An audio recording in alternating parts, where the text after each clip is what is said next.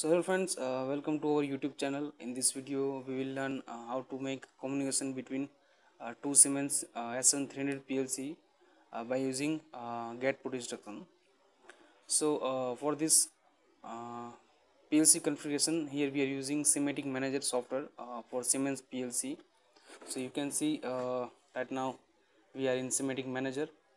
And you can create new project from this file menu option so I have created the project named uh, PLC to PLC uh, communication.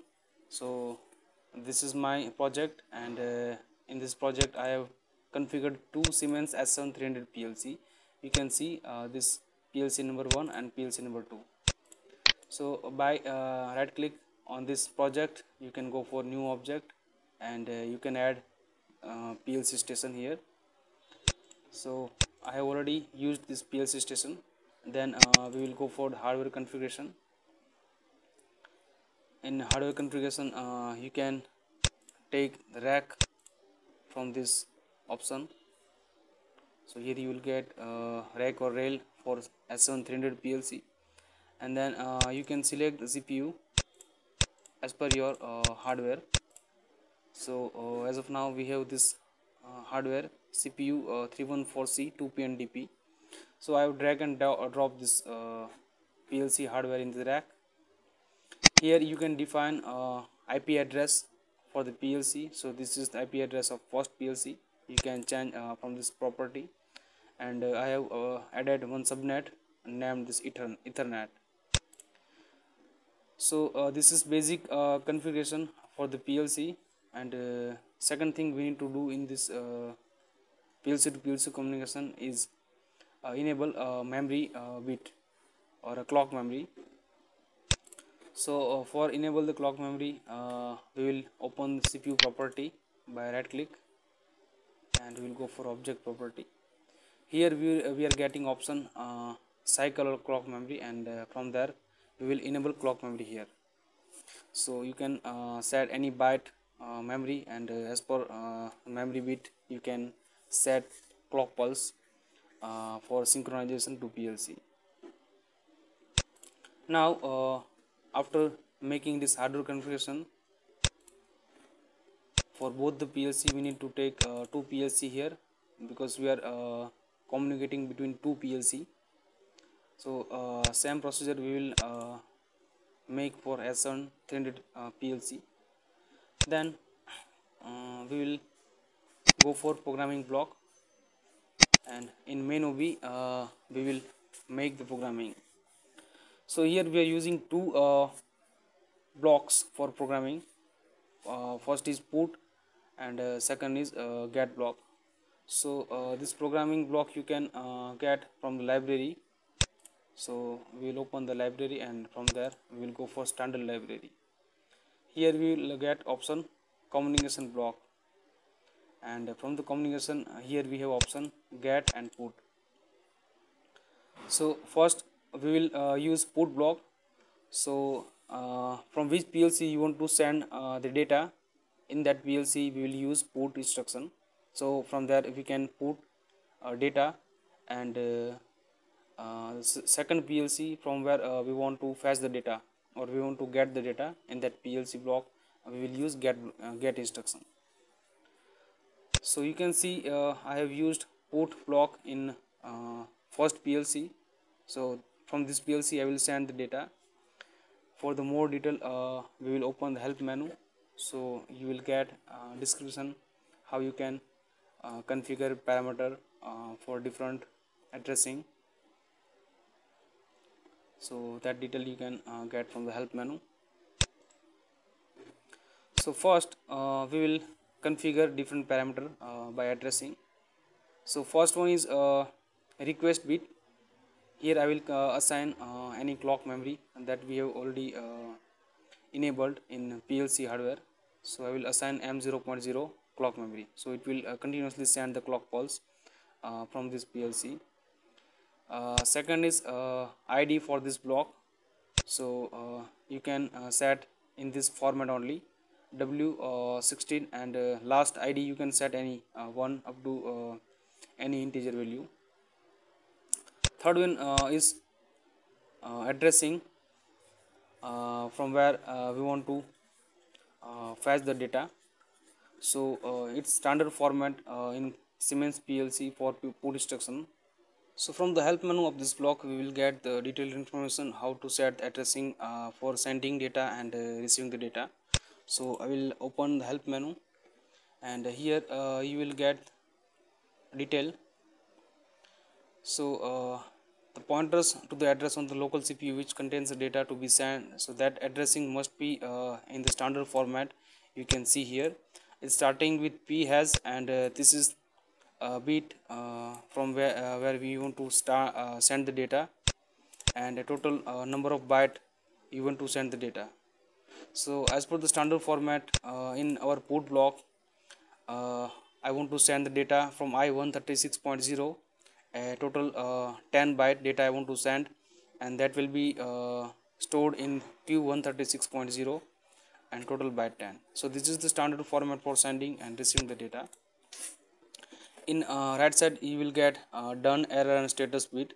So here uh, if uh, any error will come so you will get the code error code and from the error code you came to know what is exactly diagnosis or troubleshooting is there. So you will get different error code and status code. And uh, this is the explanation for uh, error and status. So uh, this will be visible in done error or status bit here. So after making a put block in first PLC uh, we will save and compile and then uh, we will download this program. Now in second PLC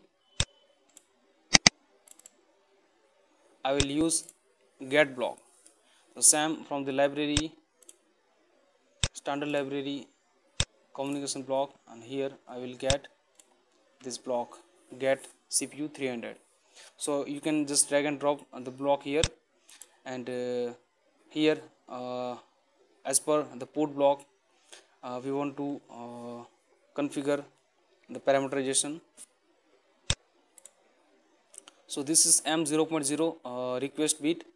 So it's continuously uh, uh, sending the pulse uh, or uh, clock cycle.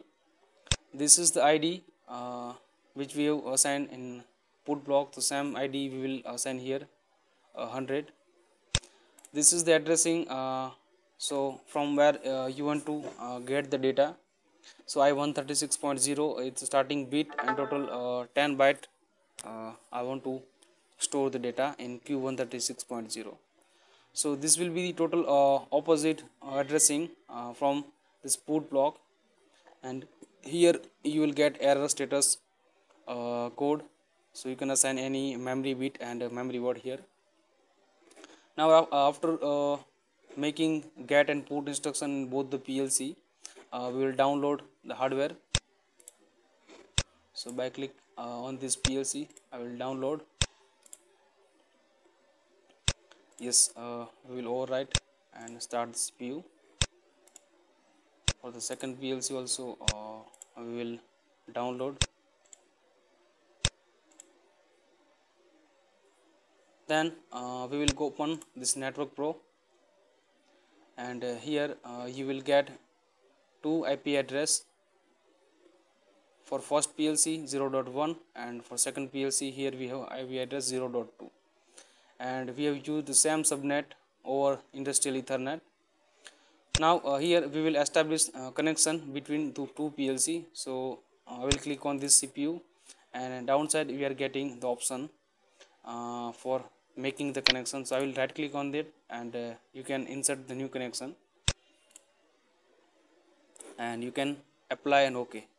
So it will be a uh, connection between two PLC so you can see right now I have already configured the connection between uh, S7300 uh, PLC and after making this connection we will save and compile.